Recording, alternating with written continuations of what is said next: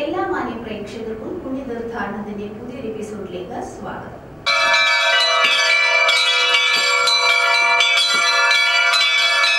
ഓരോ ക്ഷേത്രങ്ങൾക്കും ഓരോ പ്രത്യേകതകളുണ്ട്. ചില ക്ഷേത്രങ്ങളിലെ ദർശനം പാപങ്ങൾക്ക് പരിഹാരമാകുമ്പോൾ മറ്റു ചിലയിടങ്ങൾ ആഗ്രഹ സാഫല്യത്തിന് സഹായിക്കുന്നു. ഇങ്ങനെ ആയിരക്കണക്കിന് ക്ഷേത്രങ്ങൾ നമ്മുടെ നാട്ടിലുണ്ടെങ്കിലും കോട്ടയത്തെ ഈ ക്ഷേത്രങ്ങൾ ഇതിൽ നിന്നെല്ലാം വ്യത്യസ്തമാണ്. പരശുരാമൻ സ്ഥാപിച്ച നൂറ്റിയെട്ട് ശിവാലയങ്ങളിൽ ഏറെ പ്രത്യേകതകൾ നിറഞ്ഞവയാണ് വൈക്കം മഹാദേവ ക്ഷേത്രം ഏറ്റുമാനൂർ ശിവക്ഷേത്രം കടുത്തുരുത്തി തളി ക്ഷേത്രം എന്നിവ. ഈ ക്ഷേത്രങ്ങളെക്കുറിച്ചും ഇവിടെ ദർശനം നടത്തിയാൽ ലഭിക്കുന്ന ഫലങ്ങളെക്കുറിച്ചും കൂടുതൽ അറിയാം അക്ഷരങ്ങളുടെ നാടായ കോട്ടയത്തിന്റെ മറ്റൊരു അഭിമാനമാണ് ഇവിടുത്തെ ആരാധനാലയങ്ങൾ. അതിൽ പ്രധാനപ്പെട്ടവയാണ് നൂറ്റിയെട്ട് ശിവക്ഷേത്രങ്ങളിൽ ഉൾപ്പെട്ട വൈക്കം മഹാദേവ ക്ഷേത്രം ഏറ്റുമാനൂർ ശിവക്ഷേത്രം കടുത്തുരുത്തി തളി ക്ഷേത്രം എന്നിവ. തുല്യ അകലത്തിൽ സ്ഥിതി ചെയ്യുന്ന ഈ ക്ഷേത്രങ്ങളിൽ ഒരൊറ്റ ദിവസം കൊണ്ട് ദർശനം നടത്തണമെന്നാണ് വിശ്വാസം. പുരാണത്തിലെ ഖരൻ എന്ന അസുരനുമായി ബന്ധപ്പെട്ടാണ് ഈ മൂന്ന് ക്ഷേത്രങ്ങളുടെയും ചരിത്രമുള്ളത്. ചിദംബരത്തിൽ നിന്ന് തപസ് ആരംഭിച്ചു. ശിവനിൽ പ്രീതിപ്പെടുത്തി വരം സമ്പാദിക്കുക എന്നതായിരുന്നു ലക്ഷ്യം. ഖരന്റെ തപസ്സിൽ പ്രീതിപ്പെട്ട ശിവൻ അമൂല്യങ്ങളായ മൂന്ന് ശിവലിംഗങ്ങൾ സമ്മാനമായി നൽകി. അത് വലതുകൈയിലും ഇടതുകൈയിലും കഴുത്തിലുമായി വെച്ച ഖരൻ യാത്രയായി. യാത്രയിൽ ക്ഷീണിച്ചപ്പോൾ വൈക്കത്ത് വിശ്രമിക്കാനായി ഇറങ്ങി. വലതുകൈയിലെ വിഗ്രഹം അവിടെ വെച്ചു. പിന്നീട് വിഗ്രഹം എടുക്കുവാൻ നോക്കിയപ്പോൾ അത് അവിടെ നിന്നും അനങ്ങിയില്ല. തുടർന്ന് അവിടെ കണ്ട വ്യാഘ്രബാദൻ മഹർഷിയെ അത് ഏൽപ്പിച്ച യാത്ര തുടർന്നു. ഇടതുകൈയിലെ ശിവലിംഗം ഖരനേറ്റുമാരോ മഹാദേവ ക്ഷേത്രത്തിലും മൂന്നാമത്തെ ശിവലിംഗം കടുത്തുരുത്തി തളി മഹാദേവ ക്ഷേത്രത്തിലും പ്രതിഷ്ഠിച്ചുവെന്നാണ് വിശ്വാസം. കേരളത്തിലെ ഏറ്റവും പ്രശസ്തമായ ശിവക്ഷേത്രങ്ങളിലൊന്നാണ് ഏറ്റുമാനൂർ മഹാദേവ ക്ഷേത്രം ഏഴര പൊന്നാനപ്പുറത്ത് എഴുന്നള്ളുന്ന മഹാദേവനാണ് ഇവിടെയുള്ളത്. ആയിരത്തിലധികം വർഷം പഴക്കമുണ്ടെന്ന് കരുതപ്പെടുന്ന ക്ഷേത്രത്തിന്റെ പഴക്കത്തെക്കുറിച്ചും ചരിത്രത്തെക്കുറിച്ചും കൃത്യമായ രേഖകളൊന്നും നിലവിലില്ല. അഘോരി സങ്കല്പത്തിലുള്ള ശിവനെയാണ് ഇവിടെ പ്രതിഷ്ഠിച്ചിരിക്കുന്നത്. ദിവസവും മൂന്ന് വ്യത്യസ്ത ഭാവങ്ങളിലാണ് മഹാദേവനെ ആരാധിക്കുന്നത്. രാവിലെ അർദ്ധനാരീശ്വരനായും ഉച്ചയ്ക്ക് അർജുനനെ പരീക്ഷിച്ച പാശുപതാസ്ത്രം നൽകിയ കിരാതമൂർത്തിയായും വൈകിട്ട് സംഹാര രുദ്രനായും മഹാദേവനെ ആരാധിക്കുന്നു. ഏഴര പൊന്നാനപ്പുറത്ത് എഴുന്നള്ളുന്ന ദേവൻ എന്ന വിശ്വാസത്തോടൊപ്പം ചേർത്തു നിർത്തേണ്ടതാണ് ഇവിടുത്തെ കെടാവിളക്കും. വലിയ ബലിക്കല്ലിന് മുൻപിലുള്ള കെടാവിളക്കിൽ എണ്ണയൊഴിച്ച് പ്രാർത്ഥിക്കുന്നത് ഇവിടുത്തെ ഏറ്റവും പ്രധാന വഴിപാടാണ്. ഇവിടെ വിളക്കിൽ ഒഴിച്ച മനസ്സുനൊന്ന് പ്രാർത്ഥിക്കുന്നവരെ മഹാദേവൻ കൈവിടില്ല എന്നൊരു വിശ്വാസവുമുണ്ട്. ആയിരത്തി അഞ്ഞൂറ്റി നാൽപ്പതിലാണ് അഞ്ച് തിരികളോട് കൂടിയ ഈ ദീപം സ്ഥാപിച്ചത്. പിന്നീട് ഇതുവരെ ഇത് കെട്ടിട്ടില്ല.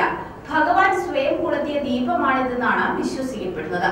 കൂടാതെ മറ്റു ക്ഷേത്രങ്ങളിൽ നിന്നും വ്യത്യസ്തമായി ആസ്ഥാന മണ്ഡപത്തിലാണ് ഇവിടെ കാണിക്ക അർപ്പിക്കുന്നത് അന്നദാന പ്രഭുവായി മഹാദേവനെ ആരാധിക്കുന്ന വൈക്കം മഹാദേവ ക്ഷേത്രമാണ് അടുത്ത ക്ഷേത്രം. പാർവതി ദേവിയോടൊപ്പമാണ് മഹാദേവനെ ഇവിടെ പ്രതിഷ്ഠിച്ചിരിക്കുന്നത്.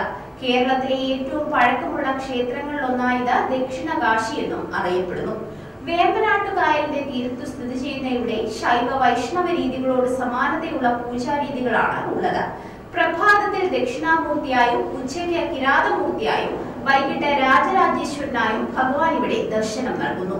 അണ്ഡാകൃതിയിലുള്ള ശ്രീകോവിലുള്ള ഏക ക്ഷേത്രവും ഇതാണ്. ഈ ശ്രീകോവിൽ പെരുന്തച്ചൻ നിർമ്മിച്ചതാണെന്നാണ് വിശ്വാസം. കേരളത്തിലെ ഏറ്റവും വലിയ ശിവലിംഗങ്ങളിലൊന്നും ഇവിടെയാണ് സ്ഥിതി ചെയ്യുന്നത്. നിത്യേന അഞ്ചു പൂജകളും മൂന്ന് ശീവേലികളുമുള്ള മഹാക്ഷേത്രമാണ് വൈക്കം മഹാദേവ ക്ഷേത്രം. ഗണപതി പനച്ചിക്കൽ ഭഗവതി നാഗദൈവങ്ങൾ തുടങ്ങിയവരാണ് ഇവിടുത്തെ ഉപപ്രതിഷ്ഠകൾ. വിശ്വാസങ്ങൾ അനുസരിച്ച് മഹാദേവൻ സ്വയം കണ്ടെത്തിയ ഇടമാണത്രേ ഇത്. ഒരിക്കൽ കള്ളം പറഞ്ഞ ബ്രഹ്മാവിന്റെ അഞ്ച് തലകളിലൊന്ന് മഹാദേവൻ വെട്ടിമാറ്റി. പിന്നീട് താൻ ചെയ്ത തെറ്റ് തിരിച്ചറിഞ്ഞ മഹാദേവൻ പാപം പരിഹരിക്കാനായി ബ്രഹ്മാവിന്റെ തലയോട്ടിയും കയ്യിലേന്തിക്കൊണ്ട് പാർവതി ദേവിക്കൊപ്പം നാട് മുഴുവൻ നടന്ന ഭിക്ഷ യാചിച്ചുവെന്നാണ് വിശ്വാസം. പലരും ഭിക്ഷയായി പലതും കൊടുത്തുവെങ്കിലും അത് നിറഞ്ഞു കഴിഞ്ഞാൽ ഉടനെ മഹാദേവൻ അത് ഭസ്മമാക്കി കളയും. അങ്ങനെ പന്ത്രണ്ട് വർഷം മഹാദേവൻ പാർവതിയോടൊപ്പം നടന്ന ക്ഷേത്രം എന്ന സ്ഥലത്തെത്തി. അപ്പോൾ തലയോട്ടി നിറഞ്ഞിരുന്നതിനാൽ ഭഗവാൻ അവിടെ തലയോട്ടി വെക്കാമെന്ന് പറഞ്ഞു. അങ്ങനെയാണ് ഇവിടം വൈക്കമായതെന്നാണ് വിശ്വാസം. മഹാദേവൻ സ്വയം സംതൃപ്തനായി കണ്ടെത്തിയ സ്ഥലത്താണ് ക്ഷേത്രം സ്ഥിതി ചെയ്യുന്നത് എന്നതിനാൽ വിശ്വാസികൾക്കും ഇവിടെ വളരെ പ്രിയപ്പെട്ട ഇടമാണ്. കോട്ടയത്തെ അടുത്ത ക്ഷേത്രമാണ് കടുത്തുരുത്തി തളി ക്ഷേത്രം. വൈക്കം ക്ഷേത്രത്തിൽ നിന്നും ഏറ്റുമാനൂർ ക്ഷേത്രത്തിൽ നിന്നും തുല്യ അകലത്തിലാണ് ഈ ക്ഷേത്രമുള്ളത്. ക്ഷേത്രത്തിന്റെ വടക്കു ഭാഗത്തായാണ് വൈക്കത്തപ്പന്റെ ശ്രീകോവിലുള്ളത്. ഇതിന്റെ എതിർവശത്ത് ഏറ്റുമാനൂരപ്പന്റെ ശ്രീകോവിലും കിഴക്കേ മൂലയിൽ ഭഗവതി പ്രതിഷ്ഠയും കാണാം. വെലിക്കല്ല ഇവിടെ യഥാർത്ഥ രൂപത്തിലാണ് കാണുന്നത്. കൂടാതെ മറ്റിടങ്ങളിൽ നിന്നും വ്യത്യസ്തമായ രണ്ട് നിലകളോടുകൂടിയ ചതുര ശ്രീകോവിലാണ് ഇവിടുത്തേത്. ഏറ്റുമാനൂർ എറണാകുളം റോഡിൽ കടുത്തുരുത്തി ജംഗ്ഷനിലാണ് ക്ഷേത്രം സ്ഥിതി ചെയ്യുന്നത്. ഇരുപത്തിയഞ്ച് കിലോമീറ്റർ അകലെയുള്ള കോട്ടയമാണ് അടുത്തുള്ള പ്രധാന റെയിൽവേ സ്റ്റേഷൻ. തുല്യ അകലത്തിലായി സ്ഥിതി ചെയ്യുന്ന ഈ മൂന്ന് ക്ഷേത്രങ്ങളിലും ഒരു ദിവസം അതായത് ഉച്ചയ്ക്ക് മുൻപ് ദർശനം പൂർത്തിയാക്കണമെന്നാണ് വിശ്വാസം. അങ്ങനെ ചെയ്യുന്നത് കൈലാസത്തിലെത്തി മഹാദേവനെ ദർശിക്കുന്നതിന് തുല്യമാണത്രേ. മറ്റൊരു പുണ്യക്ഷേത്രത്തിന്റെ വിശേഷങ്ങളുമായി അടുത്ത എപ്പിസോഡിൽ കാണാം. അതുവരെ നന്ദി നമസ്കാരം. കൂടുതൽ വാർത്തകൾക്കും നേരത്തെ തിരിച്ചറിവുകൾക്കുമായി ഞങ്ങളുടെ സാറ്റലൈറ്റ് ചാനൽ കൂടാതെ ഡെയിലി രണ്ട് I P T V YouTube ചാനലുകൾ സബ്സ്ക്രൈബ് ചെയ്യുക. അതോടൊപ്പം തന്നെ പ്ലേ സ്റ്റോറിൽ നിന്നും Mantra T V mobile app download ചെയ്യുക. താങ്കളുടെ സ്മാർട്ട് ടി വി ഉപയോക്താവാണെങ്കിൽ മന്ത്ര ടി വി നേരിട്ട് ലഭ്യമാകുന്നതാണ്.